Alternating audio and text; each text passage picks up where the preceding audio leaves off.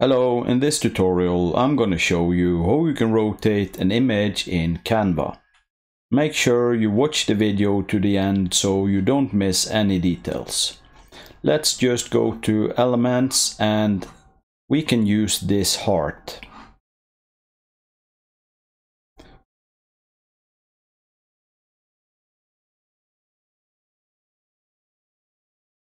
And as you can see, to make it bigger, you use these dots on the side of the image. Important thing for us is the symbol under the image we can use to drag the heart to the desired angle. So let's just try to drag it.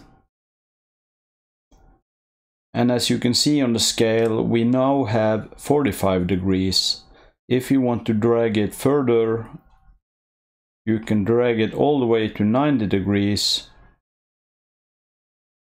and then 180 degrees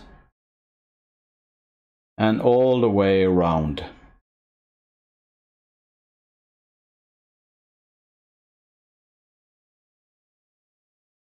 You can also use this method on different images, text, graphics, elements, and so on.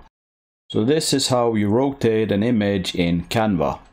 Thank you for watching. If you enjoyed this video, like and subscribe, and I will see you in the next one.